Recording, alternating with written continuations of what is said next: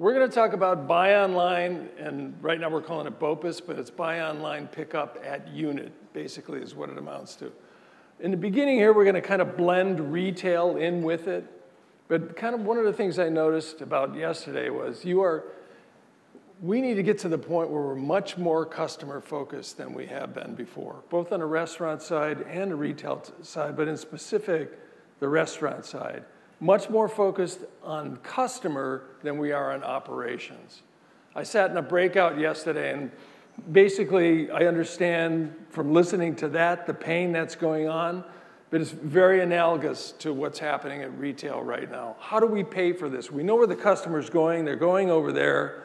I have 600 units, how do I get there? So hopefully this is gonna help us a little bit today, but one of the things I think that we have to understand is we gotta keep up with that customer or somebody else definitely is going to.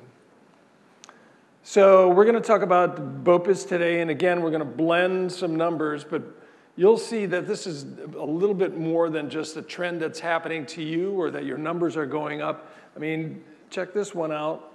If it works, there it is. I mean, it's happening globally. So there's a 70% adoption rate across the globe. So people everywhere are understanding, and I heard it said in a couple of presentations yesterday, well, I'm gonna press a couple buttons, I'm really tired, I drive one hour each way to work, and so now all I have to do is like stop at this place because I'm pressing my button about halfway there, pick up the stuff, and go home.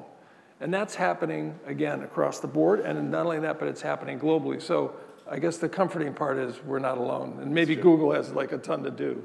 Well, and, the only thing I'd say about that too, as far as uh, the BOPUS adoption rate, it's actually a lot less in the U.S. than it is in Europe. Uh, a lot of it's been driven by grocery in Europe, uh, so we've got some catch up to do as far as uh, keeping up with what the consumers are looking for. Then, if you break it down, come down the funnel a little bit. Over the past five years, takeout period for restaurants has increased over 20 percent. So one day you were 20, doing $100, and the next day you're doing $80, and this is going like this. And one of the numbers that I saw yesterday was that uh, in terms of like how hockey sticks work, they actually do work like hockey sticks. In terms of a graph, it goes like this, and then it starts to take off. And they circled this one part, I believe it was Meredith that did this, and said, we're taking off right now. We're just at takeoff point. So what we're going to talk about today, I think, is, is, is relevant and then a lot of decisions have to be made, like we're going to have to have a conversation with the CEO or the CFO. And then this is a study that, that WD Partners did alone. We talked to 4,000 consumers around the country, and we talked to them about 14 different technologies, digital retail technologies. So in other words, uh, like some of the things that Wendy's and McDonald's has done where you walk in and, and you press your order and you go sit at your table and they bring it to you. That was one of them. Uh, another one was like an endless aisle for a retailer. You don't have my size, you don't have my stuff, you're gonna get it for me right away. 14 different technologies. This was number one by far. So it was number one, and the next one was like number five in comparison, maybe like 45, 50% compared to buy online, pick up in store. And this was done three years ago, so for a kind of a long time now, customers have been saying, this is what I wanna do. I'm gonna buy from you with my telephone, and then I want to just come and get it. I'm on my way home from work, or I got the kids in the car, just put it in my trunk, and I want to go. To the tune of 86%, and let's face it, if all you guys have done research, that's about everybody. So everybody is saying, this is what we want to do. So globally, I hope everybody uh, half asleep, or have I done enough? yeah, um, and this is a pretty retail specific one, but we wanted to kind of point out that, well, buy online, pick up in store adoption has been booming. It, it varies by sector and it varies by format, right? So, uh, and I imagine within the restaurant world, it's going to be the same. There are going to be some, uh, some uh, restaurant formats that are a better fit for it. But if you kind of look at it, it's, it's, it's kind of obvious, right? Like health and cosmetics is on the low end because if you're like my daughter, you know, I've watched when she buys makeup, she wants to touch it, feel it, rub it on her hands, and all that kind of good stuff too. And then all the way at the other end, you've got electronics because I don't want to leave my you know, my large screen TV sitting out in front of my house waiting to get stolen, right? So there's a pretty good, uh, you know, understanding of why certain sectors might be more interested in BOPUS, but there's still opportunities regardless of which sector you're in. I mean, in the health and cosmetics area, It's true that you know when you're making your initial purchase, you probably want to go and look at that product before you go ahead and buy it. However, the idea of replenishables, right? And again, replenishables for food is probably not as common, but for in health and cosmetics, once I find that product that I really like, being able to set up a replenishable, uh, buy online, pick up in store, where I know when I'm close by and get a notification, pick up that product again. Um, so while buy online, pick up in store uh, has different rates of adoption across various sectors, there's a good fit, you know, depending on which restaurant uh, sector you you might be in. And just another chart to show you, like where business has been in general compared to what's happening with BOPUS. And uh, I don't know, that doesn't look like a hockey stick, it looks a little more like a whip. Well, it's also missing dates, right? So this is over the past year, right? So what we've seen, and you know, when we talk about brick and click, we're talking about stores that offer you know online sales and also also offer in-store sales. So someone like Target, you know, you can do both. So when you look at the you know the growth that they're seeing uh, with brick and click online orders is up 21 percent. Buy online, pick up in store is about up 120 percent.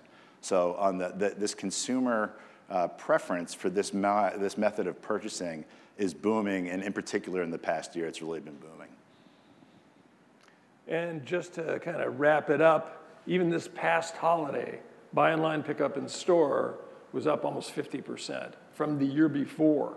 So this, this is something, again, with that hockey stick, I mean, it's really taken off. And I think next year it's probably going to be another 50% up from that. And just one other quick anecdote about how buy online, pick up in store can really you know, move the needle on the bottom line. Walmart moved from uh, the number three online retailer to the number two online retailer in Q4 of last year, um, and very, very much on the basis of its growth in grocery, and that's being driven in large part by buy online, pick up in store. So the, the, you know, Wall Street has, uh, has rewarded them for the, the growth in that area. So we're really seeing that not only are consumers interested in it, but Wall Street recognizes the, the growth that this can put on your bottom line. Uh, we'll do some at the end. How about that? I know Lee's going to shoot me for saying that, but. oh, you want to go ahead? What? Take a question or ladder? Let's take a question. Why not? I just wanted to clarify two slides ago. Yep. Can you, are you able to go back? Is there one of those buttons? We'll find out if we're that savvy. Come I'm on, trying. Lee, you can do it. Yes. Can you clarify um, blue? Yeah, the, so the blue is typical brick and click. When I say that, I mean stores that not only sell online but sell offline too, right? So it's not a pure play like Amazon. It doesn't have stores, although I guess they do, or you know, or Wayfair. Someone like Target, someone like Walmart. So what we're seeing here is e-commerce for those brick and clicks folks like Target and Walmart and Dick's and all those guys are up 21%, right? At the same time, though, we're seeing much larger growth in online orders that involve an in-store pickup. So is the, so the que- you know, question about why, why do people want to do it? No, no. Is the, is the difference between those two, in one case it's shipped, in the other case you pick up in store? That's correct. That's it? That's correct, right. And, and percentages can be deceiving. Is, is the absolute very substantial? The absolute's very substantial. And, and, and again, I think that's why I wanted to throw out the reference point about Walmart, right? It was so substantial that it actually led from Walmart uh, overtaking Apple as a number three online retailer right? So there are definitely, and go back and look at Target, right? Target's latest earning reports, look at Walmart's latest earning reports. They are real numbers, they are real substantial growth. And I think at the Super Bowl, if y'all saw that awesome ad that had every licensed character known to man that drove a car, uh, Walmart is going big in that area, and you're not taking out Walmart ads in the Super Bowl with $4 billion worth of licensing unless you know it's an important, meaningful uh, mechanism. I think the other factor that comes into play, which is a slide that, that we took out really, was the fact that you don't, you don't pay shipping at all. So in other words, if you buy online, you have it shipped to your house, you're going to pay shipping. If you go buy online, pick up in store, you don't. That's another reason why this has really taken off. Can I just throw one quick thing out that right there too? Like one of the things that's a key determinant of whether or not a buy online, pick up in store experience is preferable to a user is there's two things. One is is how much is it going to cost me to ship right? If I got to ship it, then I do that calculus in my brain saying like, yeah, it's worth it. And then there's also how far am I from this location, right? So at the end of the day, the consumer is thinking, what resources do I need to expend to get this damn thing, right? And combination of time, combination of money. And what I think is interesting is for your guys' perspective, and I imagine those of you that have been engaged with Uber Eats and some of those folks, as you've seen their model kind of evolve and there's more cost being passed on to the end user, it'll be interesting to see what happens as those costs get passed on to the end user. Because in the case of grocery, I think it's kind of being distorted with same day delivery because you got a venture capital funded Instacart that's out there doing this, but nobody else really is. The question is over the course of time, if consumers really have to pay eight, nine, ten dollars for delivery, is that going to shift them back to a buy online, pick up in store? The research would indicate that it will. Because if you put that cost back on them, they're going to be like, well, shoot, I'll just go drive over there. Right? So I think that's one thing that is applicable to you guys too, is that like right now, a lot of the cost of delivery is being hidden by a lot of tricks, like taking the, you know, paying the drivers out of tips and stuff like that. When all that stuff gets out of the way and the cost really gets reflected back to the, the shopper, we might see some shift in online behavior. I think that's why buy online, pick up, pick up it yourself is preferable. And I've done it myself a ton of times, like in between where I live and where I work is a Target. So why not buy something, just pull up right to the Target, get it, put it in my trunk, and go home. I don't have to make a special trip. I'm going home anyway, and the store is in between that. And I think that is especially applies to food. Like, what am I going to make for dinner tonight? Well, why don't I just do this? And when I come up, I'm telling them I'm coming at, at 6.15. So I'm going to pull up, you put it in the trunk, I come home, and I eat with all my kids. Okay, we're going to talk about the opportunity now. And uh, this is like a couple of facts that, that we already know about, but, uh, and I've known this personally for years. We worked with Wendy's and a number of other QSR companies, but almost 80%, 75 to 80% of the business goes around the back of the unit, back by the garbage, you know, back up against the brick wall where kids are throwing stuff against the brick wall, up to a window that looks like it's 80 years old. That's the brand experience that they have with QSR. And then for casual dining, like I was looking up the numbers the other day, and it's been rising just this last year. Takeout is rising 20% 10, over the course of the last three years and 10% just last year. So it's really hitting all restaurants across the board. I don't know what's happening in fine dining, but I'm sure it's happening there because I, for one, am doing that as well. At the same time, I mean, as I just described, like the worst brand experience you get, even if you're doing it at a casual dining where we're just trying to figure it out. And I saw some things yesterday like, let's, let's put this rack up here with a bunch of bags with everybody's name on it. You pull up your car in a special space and you walk in there and you got to go through all the bags and try to find your stuff. Or even the way Chipotle does it, you're sitting in the parking lot thinking, is this thing going to be ready? And then, you know, with QSR, like I said, you drive past the garbage, you go, that's what I think of when I think of a QSR, as I drive past the garbage and take a look at that. So obviously, there's a lot of improvement that needs to happen.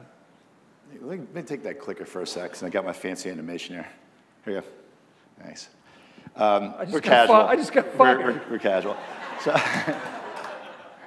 so um, this is the stat that I really love, um, and, and, and it shows some changes in consumer behavior. The, the, this is 600% growth in mobile searches for can I buy and near me, right? And it's, it, it's kind of a new behavior, right? When people are out in the road, the nature of their searches really changes. When they're, when they're shopping at home or they're online at home, they're probably more in like a research mode, right? Like maybe I'm checking out various things I might want to do or buy, or that kind of stuff. When I'm in my car, when I'm out in the streets, I'm looking to take action right? So the nature of the searches that we're seeing coming through Google are very action oriented. And the question is, how do we act on that? How do we take advantage of this, this customer that's exhibiting serious buying intent? I'm going to use a retail example here, um, but I think you guys can see how it can apply. So in this, in this case, um, it's my brother's birthday, and I've procrastinated until the last minute, so I've forgotten to get him something.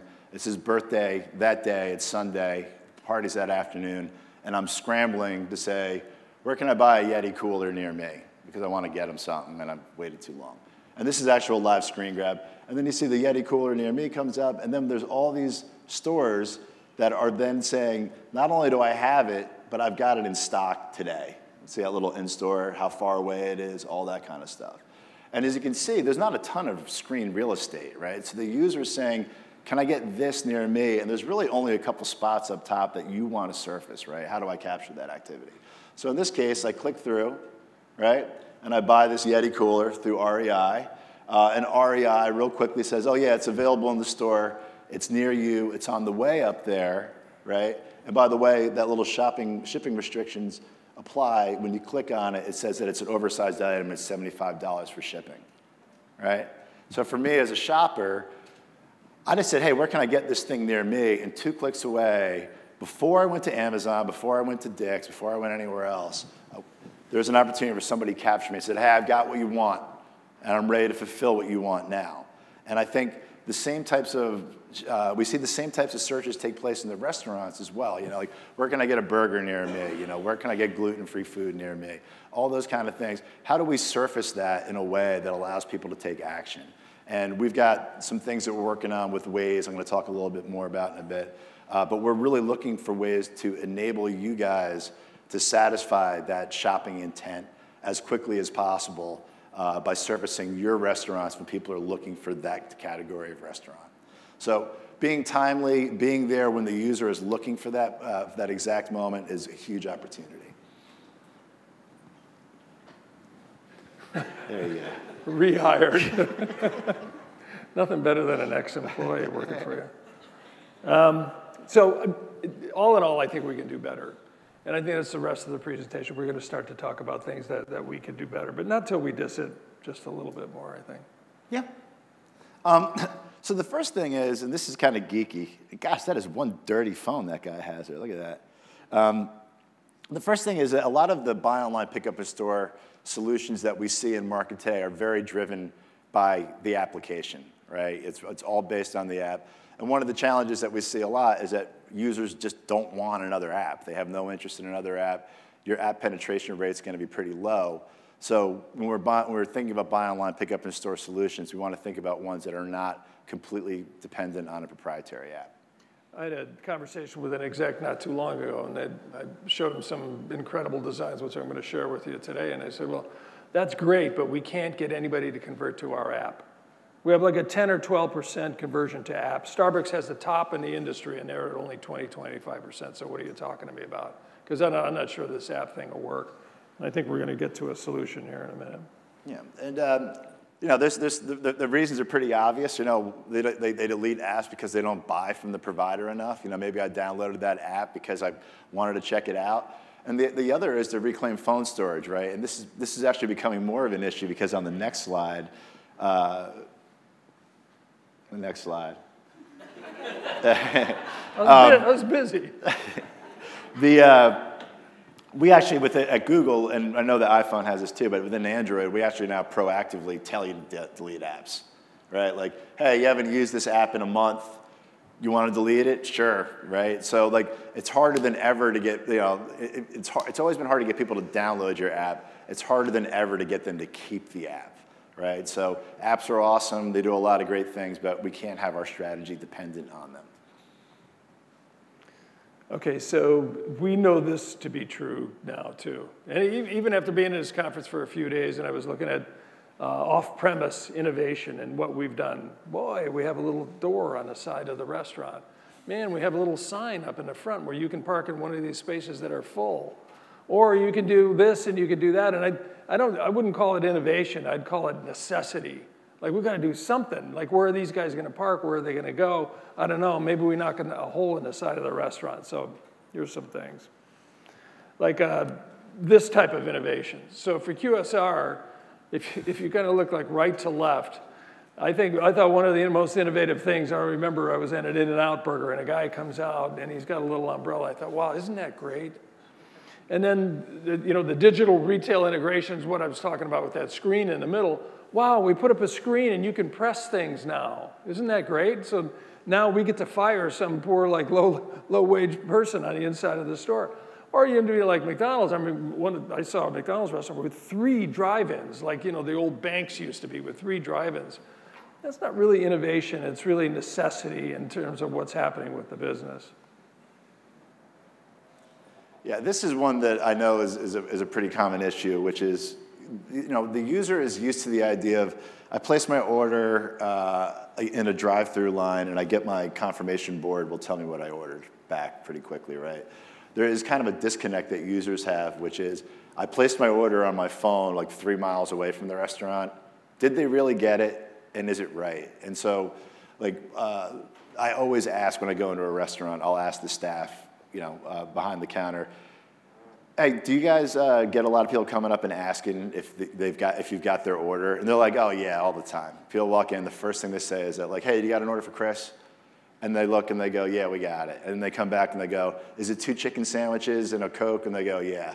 You know, so like just the idea of like there is this anxiety that people have about like, do they have my order and is it correct?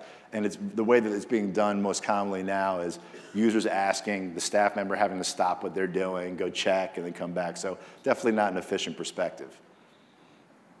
Uh, the next one is I'm not recognized, right? Like the idea of I have to, uh, you know, who, you know, being able to prove who I am. I had a pretty funny experience at a Staples uh, with a buy online, pick up in store experience. I ordered some printer ink, and I walked in, and uh, the gal had this really old phone, and she was scrolling through it all like this. She goes, "Which one of these is you?" And I was like, "The one with the most expensive order," you know. But like the, uh, but like, but there was really, there, it, it was, it was, it was clunky and ugly. So, you know, thinking about a solution where I come in and like I don't have to worry about how I'm proving it's me or whether or not they have my order. How do we make that all one seamless experience? I'm identified, my order is correct, all that good stuff.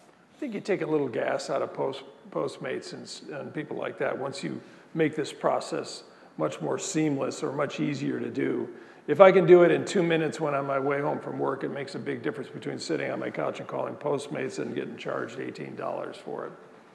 So I think that ultimately this is sort of what happens. You start to go, well, I am going to call Postmates uh, because I know the last time I went there and I did that, I had to sit down in a restaurant. They asked me if I wanted a drink, and 15 minutes 16 minutes later, you know, I might as well have just stayed at the restaurant altogether. So it's like, well, you know, it's not worth it. I don't think. And i will say, in retail, it's like the experiences are way worse, right? The retail experiences are, are, atrocious. I mean, I think restaurants have done a much better job because they've been used to the idea of people coming into the store, picking up stuff, and all that kind of stuff. But like, the retailers are the experiences are terrible, and they're not going to get a second chance at it. Yeah, I'll second that. I had, I had an experience with a retailer where I ordered something online. I went online, they had it. I said, okay, great, I'll pick it up at whatever. Had to go park in the parking lot, walk inside the store, which I didn't want to do in the first place.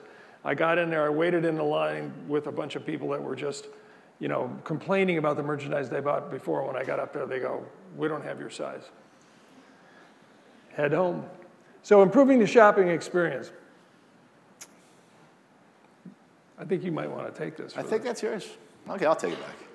I'll take it. So technology is good. This is Google's motto. Um, so one of the things I wanted to talk about, like one of the challenges that we mentioned earlier was the idea that folks don't download the app, right? And then they delete the app afterwards. So the alternative to that is what can we do with, a, with what's on the phone already, right? How can we create an experience that addresses the 99% of people that have a phone instead of the 4% of people that have my app? And so the consumers actually expect that they, they, should be able to do everything on a, on a website, on a mobile website they do on an app.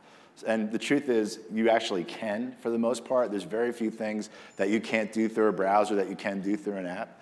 Um, and the other, the other angle of it too is that like, even if you do go to a web-based model, you gotta make it a seamless, painless process. And by that, I mean, I tried using uh, the web version of a major QSR's website to do ordering, and the, all the functionality was there, the ability to place an order and all that great stuff.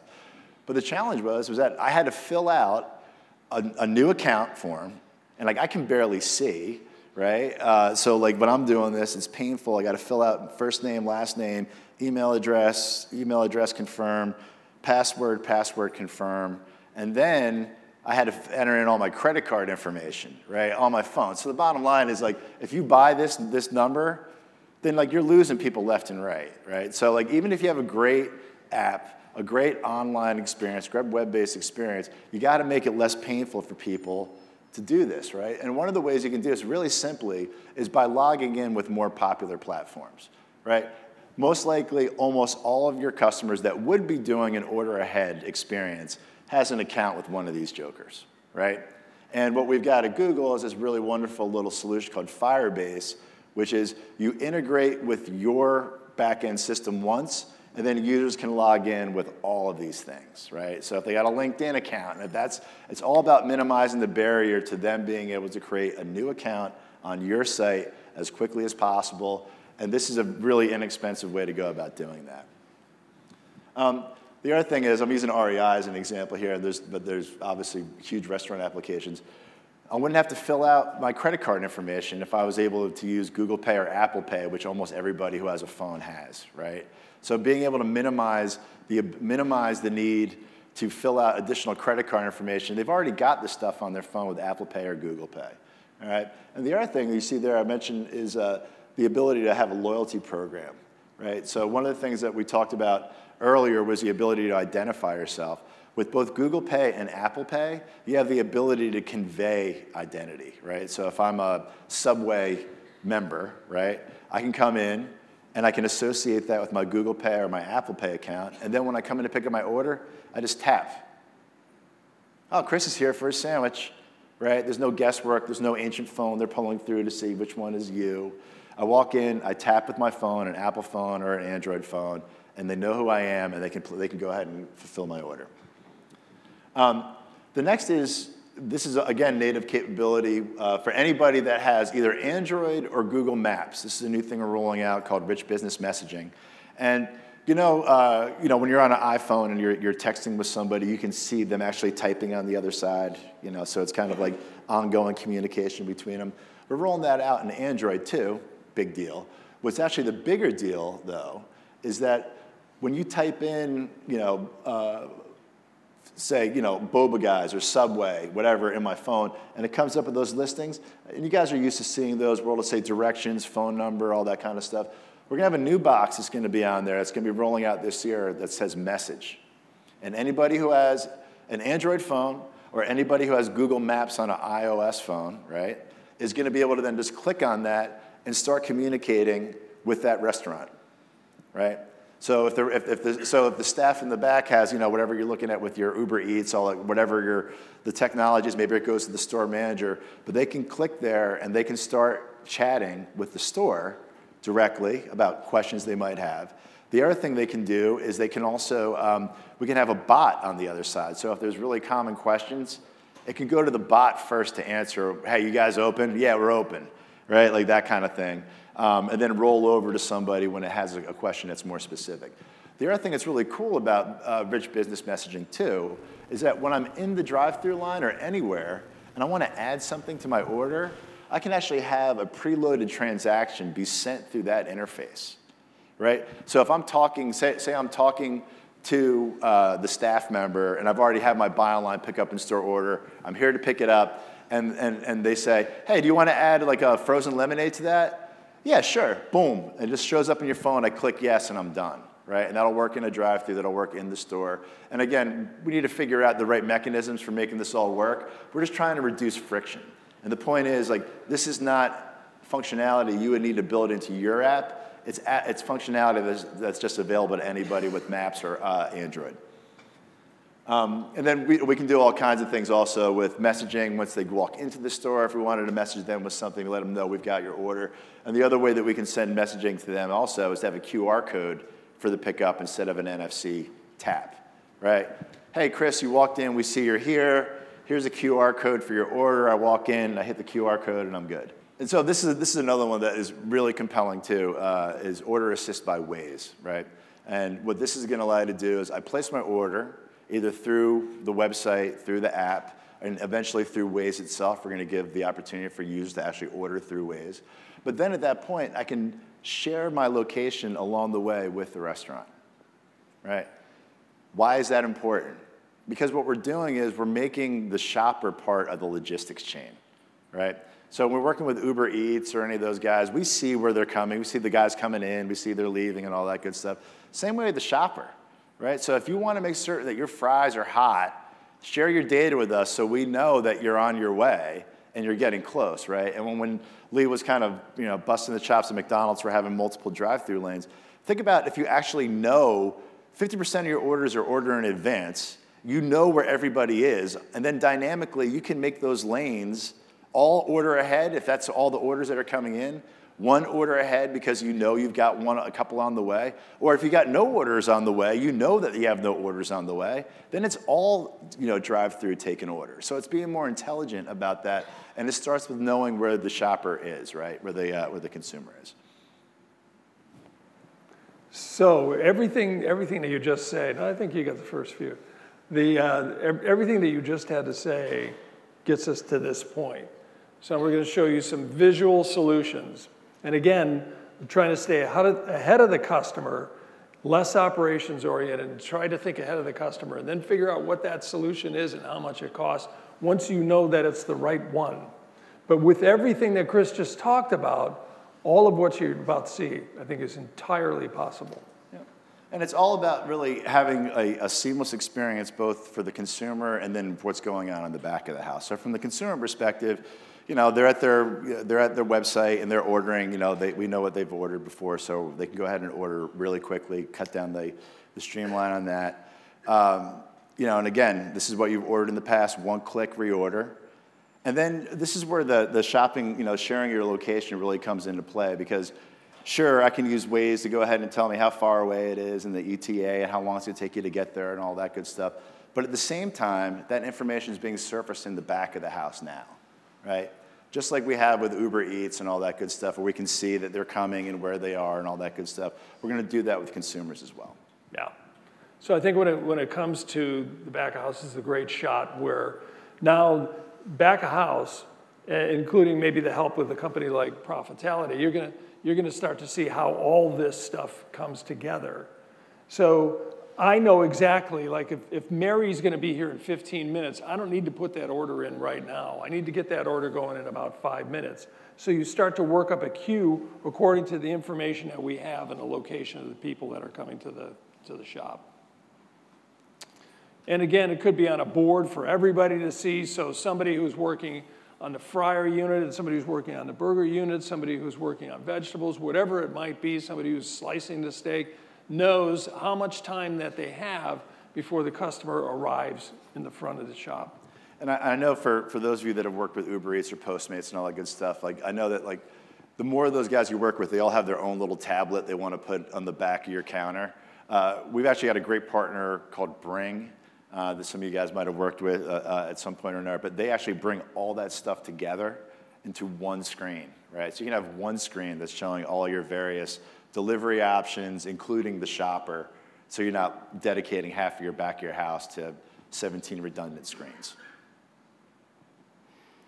And then for the user, right? And we all know how the success that Domino's has had with that giving this constant feedback along the way you know, we're, we're keeping everybody in line with doing that. We're keeping the back of the house of the restaurant online. We're also keeping the shopper engaged. And then you're arriving. Bingo. Mary's here. So this is why we have this shot up. You know, it's, a, it's our money shot. Uh, basically, one of the things about QSR, this is QSR in particular, so I apologize to casual diners at the moment, but we're going to show you a solution as well. But the, the thing that's always bothered me about QSR is that, again, 80% of the people get like a lousy brand experience because they drive through the, that part of the restaurant. So we've always worked on the front of the restaurant. How do you make the, the front of the restaurant better? Well, what if we took the restaurant all together and turned it around? And started to celebrate the idea that 80% of your customers just want to pull in, they want to get that hot food, and they want to go. So the way that this, one, this thing is set up, now it's behind me and it's over there too, is three lanes. So the right lane is the speed lane. So now we know Mary's here. Mary's order is sitting on a heated counter there with Mary's name in a circle around it. The concierge goes, Here comes Mary.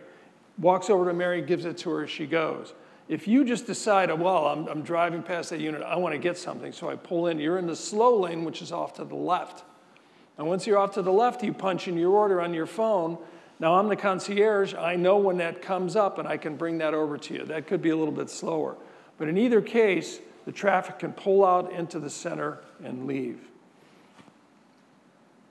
So here's more casual dining. So why not take the side of the store and make it more like again, celebrate the fact that your customer, this is the way that your customer shops and the way that customers really globally are moving. They want to pull up, they want to get something. So why do we have a little door there with a sign on it? Or why do we have this little thing and why do we have some shelves on the inside of the place? Why do we make them get out of the car at all? Why not have them pull up, have a concierge right there, again, with everything that I just talked about and with everything that Chris just talked about, you know that they're coming, you know that they're there. The back room did too. The food is still hot. Put it in their hands, off they go. And just in case you wondered, I mean, WD Partners has been doing restaurants for over 50 years, so we didn't just make this up.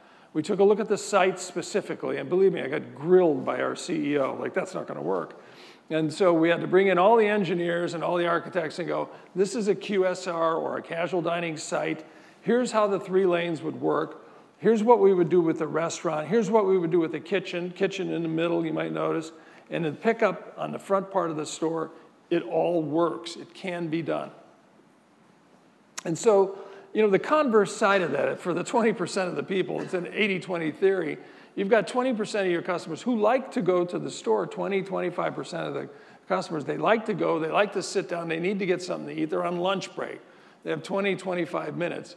Now they don't have to look at either cars in a row or cut through them to get to the place, or look at maybe some super busy street, which is not really exciting. You can do something to the back. You can put greenery back there. Um, you know, if I'm in the right neighborhood, I'm looking at some terrific housing.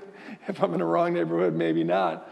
But there's something that you can do back there. And there's also, we haven't got into it yet, but there's probably some kind of entertainment or some kind of show or something that you might be able to show them as well. But again, the idea is to take the restaurant, turn it around. And so here's just another shot of the restaurant. It can be like that. You can either put the kitchen into the picture by opening up that red checkered wall, or you can just leave it the way it is and so you can have a nice quiet lunch in the back with no cars going around, no garbage bins, no anything. The other thing that we understand because we've been doing restaurants for a long time is, yeah, I can say to Wendy's, hey, Wendy's, this is a great idea. And uh, she can go, yeah, that's, that's terrific, but I have like 6,000 units. What am I going to do with the 6,000 units? Other than start to whittle away. And maybe if I really put in a good program, I can do 100 of them a year, two a week, which is a lot. So we came up with this. We started to take each different version. You can go to the next one. Uh, he's getting ready to get fired, I think. But nobody laughs. He's like not fireable. Is that the thing? Call your I'm bluff. More I'm more fireable than you are. You can do lockers. You can do the, the one that we just showed you. You can do lockers. You can do a concierge where you, you park in certain spaces and a concierge comes out, which is something that's happening now only if you take a look at those maps, I mean, they're devoted a little bit more to like a whole side of the store to nothing but concierge. And again, if the outside is clearly marked, like some of the renderings we showed earlier, it's going to be a lot easier. Then there's pull up where it could be the lowest form of remodel, but you might take the drive through or what you already exist, what was already existing and enhance that in a lot of different ways, not just a door on the side. And then a total drive up, which if you, if you click, sir, this is the locker version.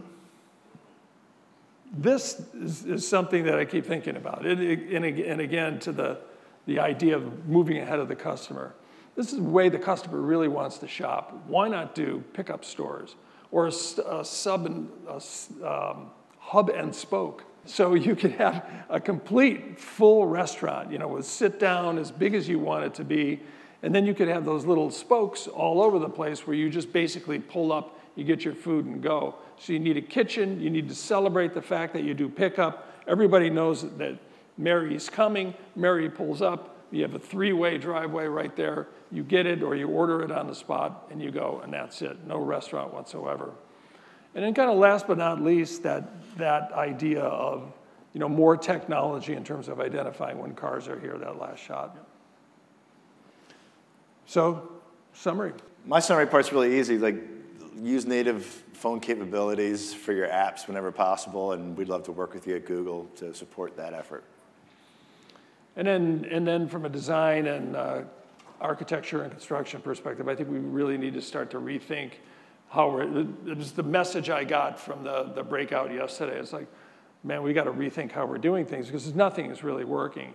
Like we're getting bags stacking up at the counter we're creating an area for pickup, and, and, there's bags and there's stuff all over. We don't even know where they are. Mary comes and was, wait a minute, Mary, because there's 40 bags here, and I have to go find your bag. So the, the redesign of the restaurant from storage through pull up to how you cook in the back, I mean, every, everything really kind of needs to be thought, tested, and then thought out again. And again, like ultimately, uh, we do operations as well. I mean, you, you have to understand that operations, the, the way that it's working right now has to totally change. I think I saw a video yesterday where somebody had somebody in operations, that's all they did, it was somebody at Starbucks. That's all they did was keep track of all the cups of coffee that were sitting there from people that bought it online and wanted to come and pick it up, to make sure that people weren't taking the wrong cups of coffee. I think the same is true with just every aspect of operations. So that's it. Yep. Thank All right.